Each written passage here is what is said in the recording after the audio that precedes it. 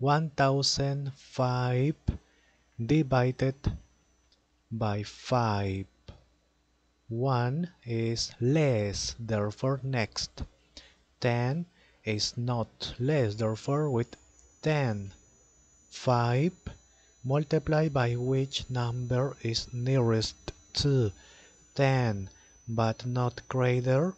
5 multiplied by 3 15 15 is greater multiplied by 2 is 10 is not greater okay. 10 minus 10 0 next eliminate 0 on this side 0 0 is less therefore next.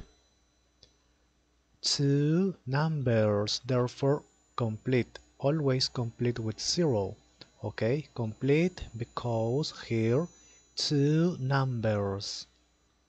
Eliminate 0 5 5 multiplied by 1 is 5 is not greater. Okay subtract. 5 minus 5 0 next. That is not number therefore finish it.